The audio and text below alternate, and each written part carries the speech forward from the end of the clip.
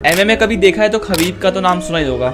हाँ नाम सुना है। तो लाइक खबीब को बोलता है अनडिफिटेड प्लेयर पर अनडिफिटेड तो मेरे ख्याल से कॉर्नर है ना? नहीं अनडिफिटेड खबीब इसलिए क्योंकि वो एक मैच नहीं हारा आज तक। तो रीजन मेरे को मतलब लाइक मैं वीडियो देख रहा था उसकी तो मेरे को पता चला कि उसने भालू से भी फाइट करी है पहले। और खबीब का बोला था कि खबीब का ना ग्राउंड गेम बहुत बेहतर है बहुत बढ़िया है खबीब। और अगर मेरे को मेरे अगर मेरे व्यू से देखोगे तो मेरे को ऐसा लगता है कि खबीब का जो ग्राउंड गेम है वो उसके बचपन की प्रैक्टिस के चक्कर में जब वो भालू से लड़ता था तो भालू के बच्चों से लड़ता था जिनके जो क्लॉज होते हैं वो निकाल दिया जाते खबीब का ग्राउंड गेम इसलिए अच्छा है क्योंकि जो भालू होते हैं वो मोस्टली ज़मीन में ऐसे ऐसे करके मारते हैं। तो खबीब का इसलिए ग्राउंड गेम ज़्यादा बेहतर है एज कंपेयर टू अदर पर खबीब अब फाइट नहीं करता खबीब अब रिटायर हो गया है है ना?